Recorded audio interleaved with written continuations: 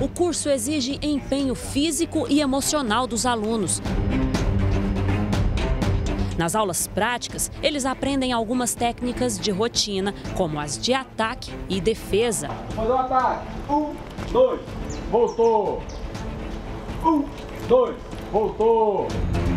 E é preciso atenção aos detalhes. Qualquer falha pode custar caro. Se você coloca reto, não vai absorver a pancada, vai doer o seu braço, você entendeu? Coloca abaixo a cabeça, então aqui, ó, essa seria a posição correta. São 800 homens e mulheres que estão divididos em quatro turmas do segundo curso de formação para vigilantes penitenciários temporários. Eles vão trabalhar nos presídios de Goiás por um ano e aqueles que querem seguir carreira vão precisar passar em um concurso público.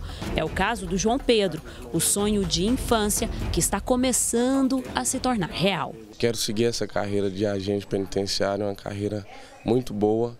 Almejo próximo concurso público está dentro, né? Como concursado, não como temporário. E sempre melhorando e entrar no golpe, que é meu maior sonho, Grupo de Operações Penitenciárias Especiais. O Júnior já se imagina trabalhando e tem uma boa ideologia para lidar com os detentos. Vamos procurar trabalhar com seriedade, profissionalismo e manter a postura.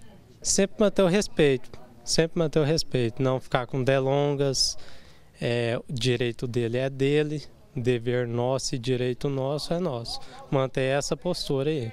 São 50 horas aulas de aulas práticas, como o que está acontecendo aqui agora. Eles estão recebendo instruções de defesa, de porventura se precisar ter algum ataque e existem várias mulheres recebendo essas instruções aqui. E o que eu quero saber de algumas delas é que se lá na hora, por exemplo, vamos parar aqui um pouquinho para conversar comigo. É se lá na hora, por exemplo, tiver um princípio de uma confusão. Aqui você está tendo as aulas, está tendo as instruções, mas você não vai sentir um pouquinho de medo? O que, que você está pensando que vai ser lá na hora do vamos ver mesmo?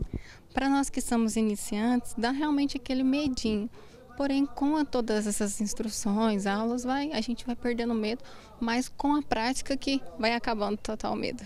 Mesmo quase se formando em pedagogia, a Letícia está empolgada com os novos rumos que a vida profissional dela está tomando. Eu pretendo fazer o concurso da ASP e futuramente está tentando entrar no golpe também. E para os instrutores que estão aqui dando as aulas é uma grande responsabilidade, porque olha só, tanto de alunos que estão aqui para aprender. O Diogo, por exemplo, é agente prisional faz um ano, entrou para o golpe recentemente, né, três meses. E como que você se sente hoje vendo pessoas que você já esteve desse lado, né, sonhando, e hoje você está aqui para ensinar? Olha, é muita responsabilidade, mas é muito gratificante você ver isso. É uma luta diária que eles têm de poder estar aqui, exercer a sua profissão, o que a gente incentiva é se esforçarem mais para poder estudarem, né, se efetivarem realmente num concurso público, seja ele aqui no sistema penitenciário, seja ele é, na Polícia Civil, na Polícia Militar, que provavelmente eles pensam na área de segurança pública. E assim, o que a gente está aqui é para justamente isso, incentivá-los a estudar e melhorarem cada dia mais, tecnicamente, e a gente está aqui justamente para isso, para poder ajudá-los, capacitá-los para o trabalho diário nas unidades prisionais. Né? O curso de agente penitenciário também conta com aulas teóricas.